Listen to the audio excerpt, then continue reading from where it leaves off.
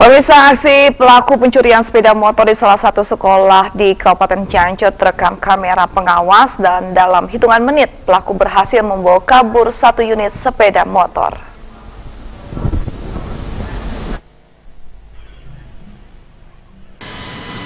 Rekaman CCTV saat aksi pelaku pencurian sepeda motor yang terjadi di halaman salah satu tempat pendidikan anak usia dini di Kampung Salajambe, Desa Salajambe, Kecamatan Sukaluyu, Cianjur. Dalam rekaman CCTV terlihat pelaku berjumlah dua orang, di mana satu pelaku lainnya memantau situasi keadaan di luar halaman. Situasi halaman PAUD yang sepi membuat pelaku leluasa melancarkan aksi kejahatannya. Saat menjalankan aksinya, salah satu pelaku mencoba merusak kunci stang motor targetan utamanya, namun lantaran kesulitan, pelaku kemudian mencoba merusak kunci stang motor lainnya. Setelah berhasil merusak, pelaku kemudian menghampiri pelaku lainnya yang berada di luar sekaligus memastikan situasi keadaan.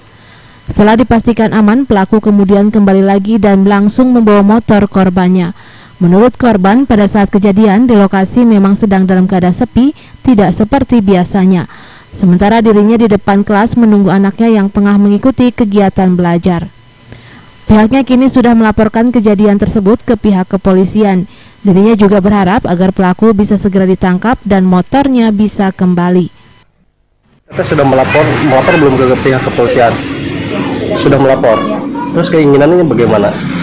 keinginannya ya ingin tangkap aja itu orangnya terus motornya di mana Diketahui kejadian tersebut juga merupakan kejadian yang kedua kalinya, di mana kejadian pertama sebelum adanya kamera pengawas CCTV. Sementara itu polisi sudah menerima laporan dari korban, kini pelaku yang sudah diketahui identitasnya dalam pengejaran Satreskrim Polres Cianjur. Heri Setiawan, Bandung TV